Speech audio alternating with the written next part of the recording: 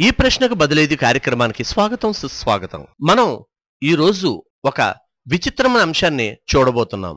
అదే మన అధికారులు లేదా వివిధ పార్టీలకు చెందిన నాయకులు చేసే భజన లేదా కొంతమంది అధికారులు స్వార్థం కోసం కాసులపై కక్కుర్తి కోసం చేస్తున్న పబ్లిసిటీ ఇక వివరాల్లోకి వెళితే రాజమహేంద్రవరం నగరంలో ఎక్కడికి చూసినా ప్రతి రోడ్డు పైన కూడా పదుల సంఖ్యలో చలివేంద్రాలు ఉన్నాయి కానీ సుమారుగా ఎక్కడా కూడా నీళ్ళుండవు. బోర్డు మాత్రం ఉంటుంది.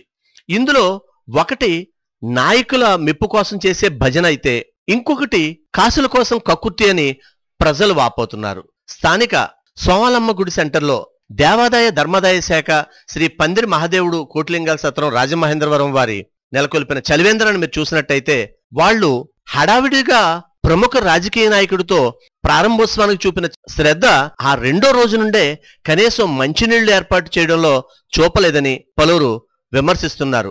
పైగా ఇన్ని రోజులు చలివేంద్రం నిర్వహించినట్టు చూపిస్తూ ఖర్చును చూపిస్తారేమోనన్న అనుమానం కూడా పలువురు వ్యక్తం చేస్తున్నారు. ఇదే కాదు రాజమహేంద్రవరం నగరంలో చాలా మంది రాజకీయ నాయకులకు భజన చేయడం కోసం ఆ రోజు అప్పటికప్పుడు మజ్జిగని మంచినీళ్ళని ఇంకోటని ఇంకోటని హడావిడి చేస్తున్నారు తప్ప రెండో రోజు అక్కడ పొరపాటున మంచినీటి చుక్క కనిపించే పరిస్థితి లేదు.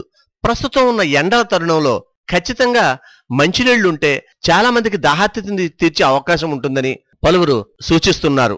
ఏది ఏమైనప్పటికీ ఈ భజన చలివేంద్రాలు పెట్టకుండా ఖచ్చితంగా సేవ చేసే చలివేంద్రాలు మాత్రమే నెలకొల్పాలని పలువురు కోరుతున్నారు.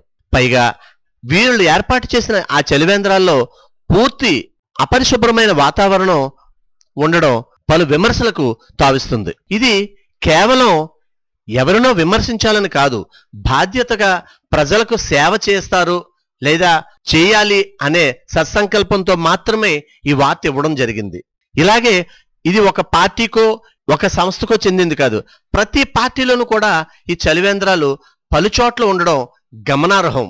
అయితే మేము ఉదాహరణకు మాత్రమే రెండు మూడు తీయడం జరిగింది. ఇలాంటి చాలా ఉన్నాయి ఇంకా. దాచాం. కుప్పలు కుప్పలుగా.